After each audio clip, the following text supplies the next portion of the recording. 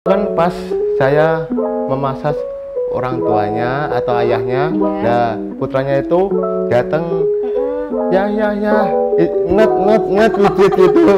Nah,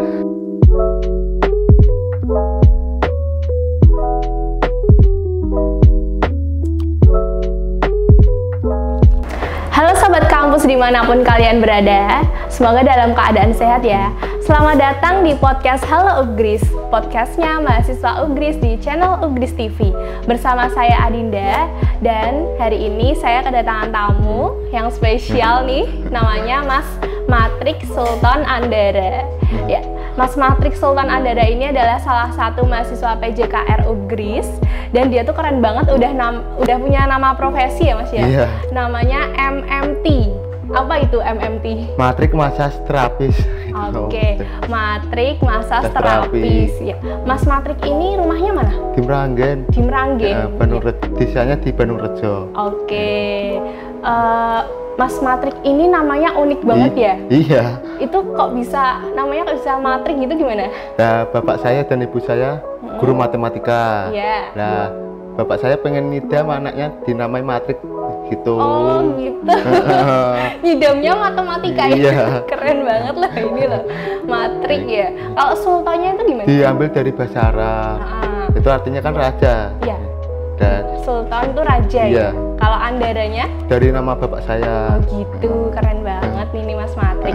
Mas Matrik ini eh, saya mau tanya boleh kan kepo-kepo tentang Nah, profesinya Mas Iya, Matrik? nggak apa-apa. Kalau profesi masas terapis itu apa sih Mas Matrik? Suatu Mm-mm. mem- kalian memijat itu kan masa dari bahasa Inggris kan. Dan Hmm. nah, bahasa Indonesianya memijat Oh iya, atau kebugaran jasmani. iya. Setelah dipijat itu kan biasanya bugar bugar kembali. Oh gitu. Nah kenapa ya Mas Matrik itu tertarik dengan eh, profesi ini? Dulunya pas zaman SMA itu saya hobi hobi hobi aja masa tetangga. Hmm. Nah setelah itu kan tak dalemi lagi tak dalemi lagi sampai kuliah gitu. Oh gitu. Berarti ada nggak sih korelasi de- antara profesi ini dengan perkuliahan yang telah Mas Matrik jalani? Ada mbak, Ada? ada. Apa itu? Masa masa saja itu. Mm-mm. Itu di semester 4 apa 5 lupa saya kan udah lama banget. Oh gitu, berarti di mata kuliahnya Mas Matrik Iya. itu ada? Iya, di ada. PJKR itu ya? Ada. Oh, jadi udah kayak eh, ini ya, terhubung ya, Iya. korelasi ya? Nah, saya kan juga bela- belajar lagi dalam nama-namanya itu apa gitu. Oh, didalami lagi ya? Iya. Gitu, Dan baik. saya sama dosen saya sering tanya-tanya ini gimana Pak penanganannya lah Oh. gitu. Iya, iya, iya. Kan sekalian nambah-nambah ilmu juga sih. Iya, benar banget.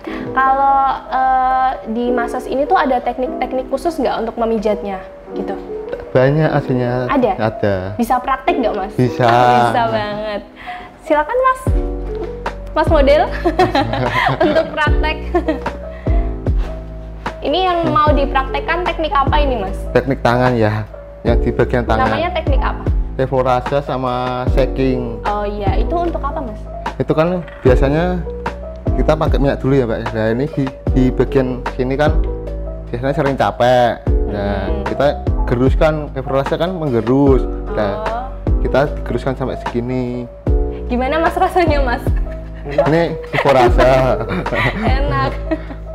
nah ini namanya shaking, shaking di- digoyangkan Oh, biar gitu. biar lemas setelah di itu shaking. fungsinya buat apa sih? Biar nggak capek I- aja? iya, atau ini kan di sini ada-? Di sini kan ada peredaran darah yang membeku. iya. Ya, namanya asam, asam laktat. Oh. Dan kita harus dihancurkan sebagai terapis. Nah, ini kan kemang biasanya ini kan sering ditekuk karena kerja lah gini. Hmm. Nah, kita kan dihancurkan peredaran darahnya ngumpet di pergelangan sini. Ngumpet gitu Iya, ya? Oh, kurang lancar. lancar. Iya. Oke. Itu ada bagian tubuh yang boleh dan tidak boleh dipijat nggak sih, Mas? Hasilnya boleh semua, asalkan yang tidak boleh itu luka bakar, Oh. nanah, Mm. sama yang bengkak. Dan Mm-mm. satunya namanya lupa Ah, saya. gitu. Yang penting berarti uh, boleh semua, Heeh. cuman kalau ada luka-lukanya itu yang nggak boleh. Iya. Oh, gitu. Atau yang bengkak juga nggak boleh. Oh, ya baik baik. kalau Mas Matrik Sultan ini lebih sering diminta untuk pijat capek atau pijat cedera? Ya seringnya malah pijat capek. Pijat capek. Iya, kalau cedera tuh masih Iya, biasanya ya? teman-teman gitu loh, teman-teman gitu. olahraga lah. Mm. Bi- Biasanya datang ke rumah, biasanya WA. Hmm. Gitu. Nah kalau Mas Matrik capek sendiri terus yang pijat siapa? biasanya kalau langsung tidur saya. Oh langsung tidur? Tidur, iya. Enggak, pijat sendiri gitu? Enggak, enggak bisa. Enggak, enggak bisa ya? Biasanya mama saya yang ngemek-ngemek gitu loh. Oh gitu, baik-baik. Kalau omsetnya ini sampai berapa Mas? Waduh, kalau itu maaf banget ya. Oh nggak bisa ya? Iya, iya. Pasti banyak ya, karena namanya ada aja udah sultan ya? Iya. Udah sultan. Karena kan privasi sama pelanggan gak oh enak gitu, juga. iya iya baik-baik. Mas denger-denger nih, Mas Sultan tuh udah banyak memijat pejabat-pejabat Iya. ya? Siapa aja sih kalau yang ini? Itu Mas mas, Sultan yang kerudung merah ya? enggak, itu mama saya itu. Oh gitu. Siapa Mas ini Mas? Itu Maman Abdurrahman, pemain Persija. Oh, wah keren banget Iya. loh. Kok bisa kenal Mas Sultan gimana nih? Itu pas main ke Meranggen. Oh gitu. Dan oh, Mas, Mas Sultan ini meranggen loh ya? Iya. Ya. Yang itu yang sebelahnya Pak U- Profesor Umar Oh gitu. Umar Kalau Ma'ruf. Sama artis gitu dibayar berapa mas? Wah, nah itu rahasia. Iya, lagi rahasia, ya. iya. Rahasia. Yang tahu saya, Yang tahu saya. Sultan sama Tuhan. iya sama pelanggannya juga. Bertiga ya Iya. mas ya. Baik. Kalau yang ini mas, yang ini siapa nih? Dan itu Pak Sinung Kadis Purapar Oh datang. keren banget loh. Bisa Iya. megang-megang kepalanya Pak Sino. Iya, itu pertama saya juga nervous loh. Oh iya. Iya. Tapi nggak apa-apa ya mas Iya. ya? Setelah itu nggak apa-apa. Baikan ya, Pak Iya. Sino. Alhamdulillah. Ini pijat apa ini mas? Ini pijat capek aja. Oh gitu. Terus kalau yang bening-bening itu apa alat memijatnya? Enggak itu asbak. Baik, baik, baik. Kalau sama Pak Sinung itu biasanya juga omsetnya berapa mas? Rahasia lagi ya. Iya. Baik, baik. baik. Berusaha menutupi lah. Nggak Iya, enak. Kalau ini, loh mas bisa pijat balita juga?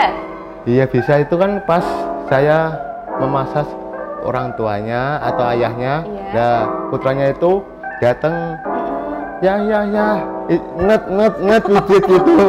Nah Tapi bisa juga mas. Iya, apa ada teknik khususnya nggak? ya hasilnya sama saja tapi harus pelan-pelan banget. Pelan-pelan ya, Heeh. Tulangnya masih Iya, gitu. kan masih pertumbuhan juga, itu kan baru umur 2 tahun. Oh, Iya. tapi pas dipijit nangis gak itu? Enggak kan pelan-pelan banget. Oh gitu, baik. Nah kalau ini mas bayi Wah juga. itu, itu binaragawan itu. Oh siapa mas ini? Mbah Meni, yang terkenal di Semarang yang Oh, orang Semarang ya iya, ya? orang Lamongan Indah itu. Berarti Mas Sultan ini jalan-jalan juga ke Iya. Persija, ke Semarang tadi. Iya. Persija itu Jakarta kan Iya, ya? tapi kan pas Mas Maman pulang ke Semarang gitu. Oh gitu, ya baik-baik.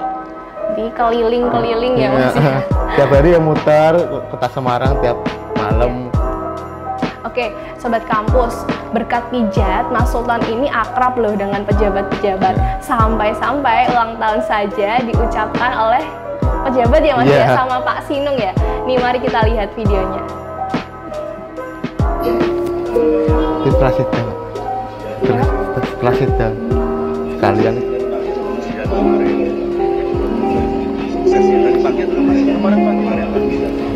Mas ini di mana nih Mas? di janji jiwa Ungaran. Mbak. Di sini, di sini.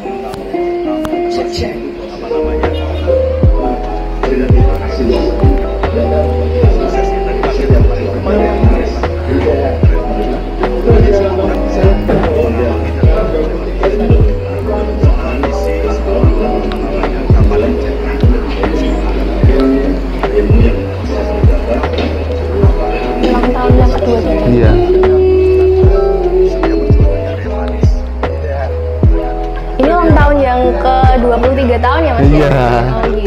Itu lagi gimana itu Mas? Itu di janji jiwa Ungaran. Berarti ini ketemuan janjian atau emang sengaja sengaja ketemu atau nggak sengaja gitu? Itu di sana? itu di sana ada pamflet toh Mbak. Nah, Hah?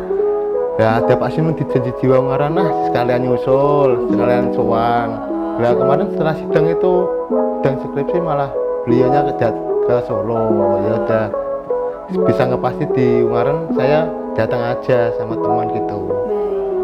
Keren loh Mas Iya. bisa kenal sama Pak Sinung, bisa ngobrol gitu.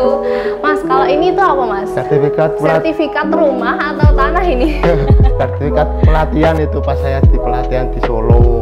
Berarti Mas Sultan aktif mengembangkan kemampuannya iya ya gitu. harus berkembang lagi. Heeh. Baik, bagus banget. itu harus haruslah Iya. Kalau ini sertifikat apa Mas namanya? sport therapist and endurance Oh, Itu- yang dipelajari apa itu Mas itu kira-kira? stretching stretching setelah di massage gitu loh lah itu kan ada tambah juga biasanya kan massage tok ya juga gak enak terus Iya. kita tambah juga dengan refleksi bagian kaki Jadi biar lengkap Oh, juga iya. ya Mas ya. kan sesuai dengan versi lengkapnya juga. Eh, Oke, kalau Mas Sultan nih biasanya kalau sama teman-temannya nih Mas kan capek gitu Iya. ya. Capek nih habis olahraga gitu, nggak nggak apa?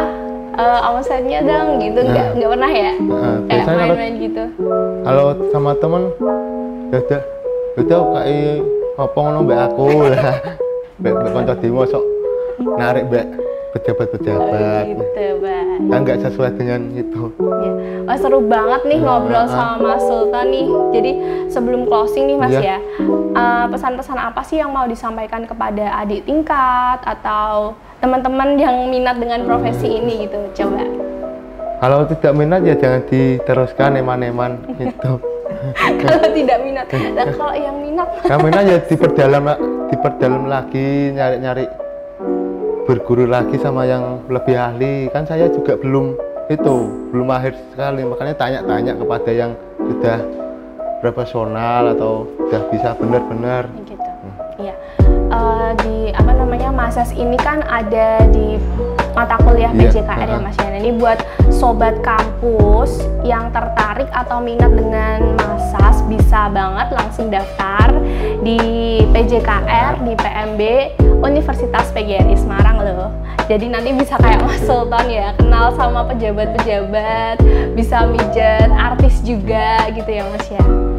Oke, terima kasih. dosen-dosennya Iya, iya, dosen-dosennya ya juga enak-enak Oh gitu ya? ramah-ramah Yang PJKR ya? iya kan masih muda-muda kasih ya Iya, Mas. Sultan atas waktunya, Oh, iya. atas kesempatannya. Tetap jaga kesehatan loh iya Mas Sultan ya. iya mbak Semoga kita lain kali bisa ngobrol-ngobrol lagi ya. Iya, Mbak. Iya. Sampai jumpa untuk Sobat Ubris di podcast selanjutnya. Jangan lupa ikuti terus podcast menarik lainnya. Dan jangan lupa like, comment, and subscribe channel Youtube Ubris. Dan podcast ini juga dapat disaksikan di Ubris TV di website tv.ubris.ac.id. Sampai jumpa!